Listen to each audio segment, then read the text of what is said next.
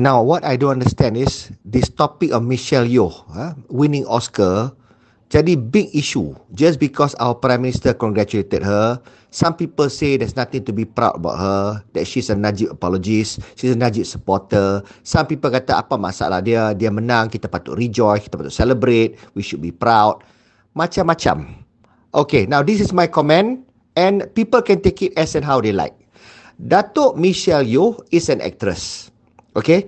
Personally, I don't fancy her and I don't forget that she at one time uh, supported Najib and she even pleaded to the Malaysians to give him one more term.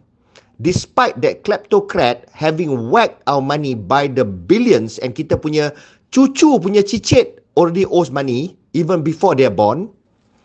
Okay, so uh, and she wants him to stay another term and she's using her appeal. She was using her appeal as an actress, as a celebrity and we all know what she is about. So therefore, as far as her character is concerned, she doesn't appeal to me. I don't hate her. I don't despise her. I'm not her fan either. Her movies, if it's good, I will watch. Okay, now, but admittedly, fact is fact. She has the ability to act, she has talent. And Oscar winning is not something that anybody can just win. You can argue that it's due to political nature or whatever the reason may be, but Oscar is prestigious. And for a Malaysian to have won that, that is something big and that's something that's only becoming of a prime minister and a government and a king to congratulate a Malaysian born here. That Malaysian being born here doesn't matter whether she lives abroad or she doesn't live the Malaysian way or she visits here sometimes. Fact is she is born here. Fact is her nationality is here. And the fact is, if she's a celebrity and she won Oscar, she makes Malaysia look good because she's a Malaysian born. Chinese ke, Indian ke, Melayu ke, doesn't matter, Malaysian. And she makes Malaysia proud. Therefore, we appear cantik is only becoming of any government of the day to congratulate because congratulate her achievement. She did achieve. That is talent. That is accomplishment. Acknowledge that. Doesn't mean you adore that person. Doesn't mean you revere that person. No. So to me congratulations Datuk Michelle Yeoh for winning the Oscar. And it's something to be proud of.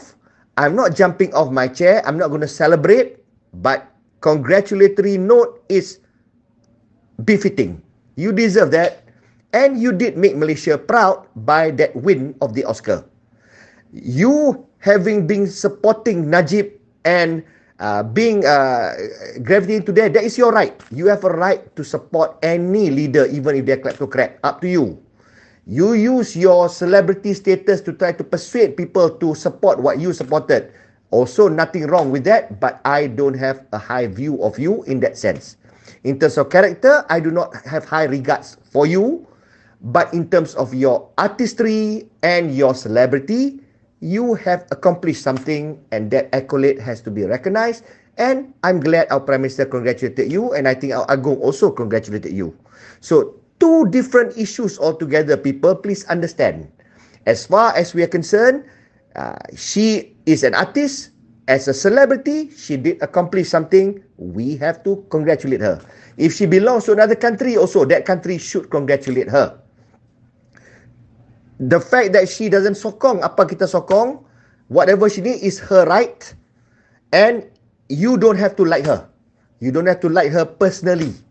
Okay, I am not, a, I don't fancy her personally pun because of where she stand from a political standpoint.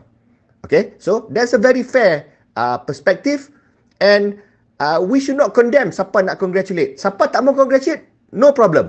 Siapa rasa, you know, I'm not proud that Michelle Yeoh wins Oscar. Up to you. You can be not proud. Whoever who wants to celebrate and say, hey, I want to rejoice. She's a Malaysian, she's a Chinese, I'm a Chinese. I also uh, share the, the, the, the, the glory. I want to celebrate. Up to you also. Suka hati. Tapi tak payahlah label orang. Uh, tak payahlah orang nak kata un-Islamic tu ni pasal ada investigation. Investigation is investigation. If she's found to have some done something wrong and she gets face the music, so be it. Tapi this is still an accomplishment. How does that erase her accomplishment in Oscar? So therefore, acknowledge what is good, note what is bad, and whatever that people have to be accounted for, they will be accounted for. Independent. Sama lah macam orang kata pasal Zaid Hamidi. Ada case, he's being charged, he goes to court, case ongoing, right? Case berjalan, right? Dia bukan dia lepaskan macam tu saja, right? So, let it be he has the right to defend himself in an impartial court. Let the process goes on. He's not a convict for now. For now, he's DPM. Dia lead UMNO, dia kepala BN dan dia bawa the block of BN to support kerja perpaduan yang kita ada ni. We should be thankful. Okay, and he's doing his job. Apa, which part of Zahid's job yang dia tak buat? Dia buat kerja dia kan sebagai DPM, dia buat kerja sebagai menteri, dia make case ongoing. Jalanlah, jangan kacau. Tak payah sibuk. Itu urusan mahkamah, urusan MACC, jalan. Sampai time kalau dia convicted and dia appeal for exhaust, dia masuk jail, dia masuk jail. So, undang-undang ada kan? Kalau dia lepas because undang-undang tak boleh ni masuk, itu hak dia. So, you don't have to like Zahid, you don't have to love Zahid, you don't have to hate Zahid.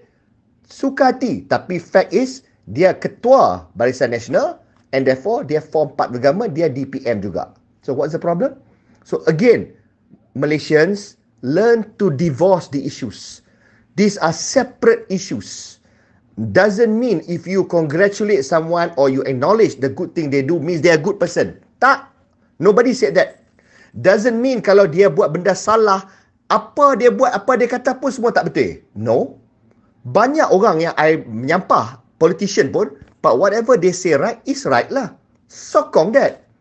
For Muslims, you should know what is amal ma'ruf nahi munkar. Kalau betul, support. Doesn't matter whom. Even if your enemy is saying something betul, you support. Even if your closest friend or relative or sibling buat benda tak betul, you must fight it because itu mungkar. So please understand that concept. Kalau kita boleh understand that concept, we become a better nation. We become more tolerant to each other. We respect each other. We celebrate each other's differences. And we don't make non-issues into a mountain. Uh, don't make uh, molehills into mountain. Tak ada kerja lain ke? Uh, so this message goes to semua orang yang nak bising pasal orang congratulate Michelle Yeoh, yang nak hentam orang yang rasa Michelle Yeoh should not be congratulated. You are the extremes of the you are at the end of the opposite spectrum. Okay? So uh, everybody cool it. There are better things to handle ni. Siapa nak seronok Michelle Yeoh menang Oscar? seronok pilih. Siapa tak seronok, tak seronok pilih. Keep your opinions to yourself. This is my advice to all. Assalamualaikum Malaysians.